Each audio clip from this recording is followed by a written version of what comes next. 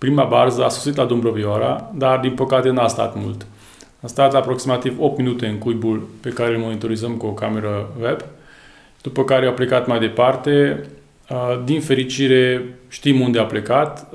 E pasărea care cuibărește de 5-6 ani la Gloden, are un nel colorat la picior, unul destul de unic, nu mai folosim de, de ani de zile acest tip de inel.